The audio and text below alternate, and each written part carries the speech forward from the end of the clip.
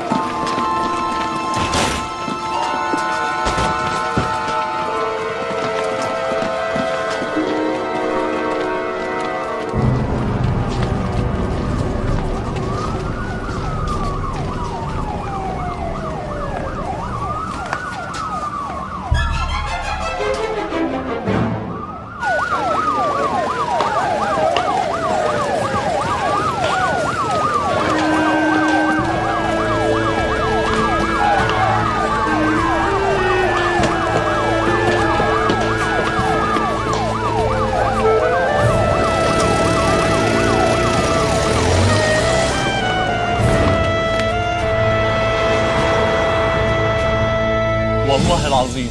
والله العظيم يا فندم أنا عمري شفته ولا عرفته. هو طلب مني يأجر أربع شقق في العمارة في أول دورين وقال لي إنه هيصور فيلم.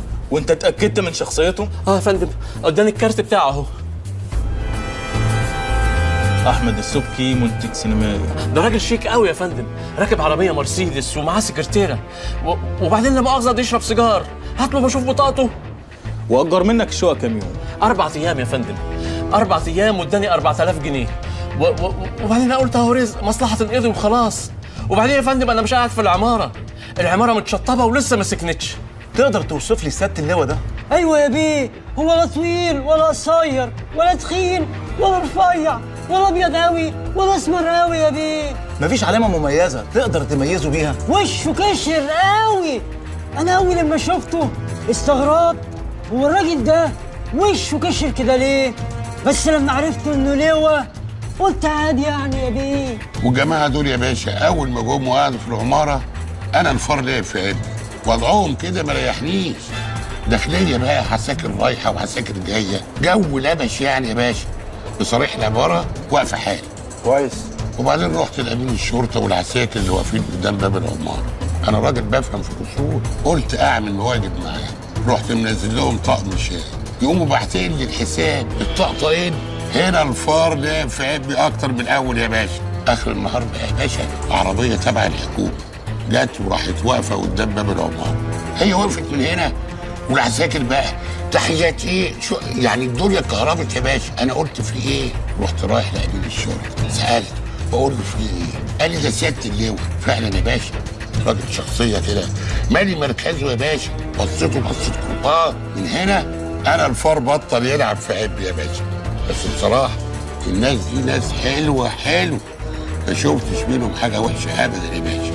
لدرجة مرة سياده اللواء طلب مني اتنين ليمون بالنعناع من القهوة من عندي. بعتهم له يقوم سعادته يبعت ال 20 جنيه وما ياخدش الباقي. تصدق يا باشا؟ راجل برنس. برنس ابن برنس يا باشا. اللي حصل ده مهزلة. أنتوا إيه؟ نايمين على ودانكم. لما شخص ينتحل شخصية لواء رئيس مباحث الأموال العامة ويعمل فرع ويحط عليه لوجو وزارة الداخلية وعساكر وسلاح دي ما تبقاش بلد دي تبقى فوضى. فين الأمن العام؟ فين المباحث الجنائية؟ فين الدوريات اللي رايحة جاية في الشارع؟ فين أمن الدولة؟ كل ده كان قصاد عينيكم ما شفتوش؟ شفناه يا فندم. ووقفتوا تتفرجوا؟ أصلهم يا فندم كان معاهم تصاريح تصاريح تصاريح إيه؟ إنهم يعني بيصوروا فيلم. من عندنا هنا؟ للأسف يا فندم. يعني الداخلية ساعدتهم. وادت للنصاب ده تصريح عشان ينتخب شخصية لواء. ده أنتوا تبقوا مشاركين معاه. وما بطوش على أي عيل من العيال اللي كانت معاه. جاري البحث عنهم يا فندم. الراجل ده يجيني في خلال 24 ساعة هو العيال اللي كانت معاه. مفهوم يا سياده اللواء تمام يا فندم. الصحافة ما تاخدش خبر. ولا كلمة تتنشر. طبعا يا فندم. خبر نزل في الطبعة الأولى من جريدة بلدنا يا فندم. هو لحق يترفع من الطبعة الثانية. واللي في السوق يتلم. تحت أمرك يا فندم. علم وينفذ.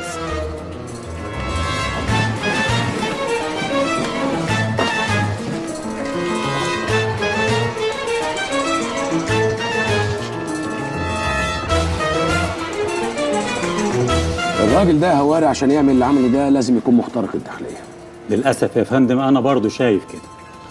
طريقه دخوله على رجال الأعمال بتؤكد إنه عنده ملفاتهم بالكامل. لا وعنده معلومة بإن هيصدر أمر بالقبض عليهم خلال ساعات وإلا بيشتغل عراف أو بيضرب الولع. وكمان طريقة دخول المطار يا معالي الوزير. الكارنيه اللي كان لابسه ده ما بيطلعش إلا من أمن الدولة. يعني رجال الأعمال اللي إحنا مسكناهم بينصبوا على البلد جه النصاب ده ونصب عليهم.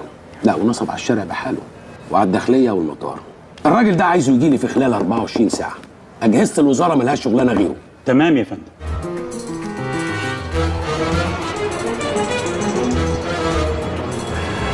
إيه الكلام الفاضي اللي أنتوا ناشرينه ده؟ نصاب ينتحل صفة لواء شرطة. أنتوا بتجيبوا الكلام ده منين؟ يا جمال بيه إحنا ما بننشرش حاجة إلا ما بنكون متأكدين منها. ومع ذلك أنا ما أقدرش أفصح عن مصادري. مصادر إيه يا أستاذ منتصر؟ ده فيلم. فيلم كان بيتصور هناك ومطلعين له التصاريح وإحنا موافقين لهم. تقوم تقول لي انتحال صفة لواء. هو في حد في البلد دي يجرؤ ينتحل صفة أمين شرطة؟ بس إحنا عندنا معلومات مؤكدة إن المباحث راحت هناك وإن أنتوا خدتوا ناس من الشارع وصاحب العمارة وصاحب القهوة. ده شغلنا بقى وإحنا عارفين بنعمل إيه كويس. انت كاتب في الخبر نصاب ينتحل صفة لواء وينصب على رجل أعمال كبير. فين بقى رجل الأعمال ده؟ راضي عبد النعيم.